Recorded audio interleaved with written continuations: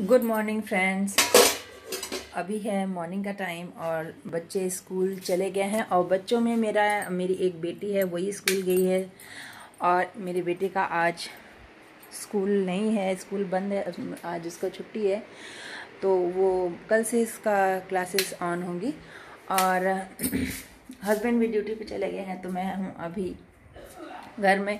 और मैंने और मेरे बेटे ने दोनों लोगों ने अभी चाय पी ली है। अभी काम करना है झाड़ू पोछा सारा चीज़ पड़ा है। किचन भी मेरा पूरा अभी फैला हुआ है। अभी मैं किचन में से ही आ रही हूँ मेरा पूरा किचन फैला है उसको समेटना है। तो अभी हम ही दोनों लोग हैं घर में। और वो अभी अपना पढ़ाई लिखाई तुम क्या कर रहे हो? कुछ पढ़ लो बेटा पढ़ लो। हाफ़ ईयरली मैं एकदम नाच नचा दिए थे। तो अभी देखिए मौसम कितना अच्छा हो रहा है ना एकदम सुंदर सा। फ्रेंड्स, यहाँ पे जो मैंने गार्डन अपना छोटा सा मिनी गार्डन बनाया, उसमें ये देखिए करेले का मैंने जो गलती से करेले का पेड़ निकल गया है, उसमें बहुत सारे अच्छे अच्छे सुंदर सुंदर करेले भी निकल आए हैं। और एक बार निकले थे तो मैंने उनकी सब्ज़ी बनाई थी।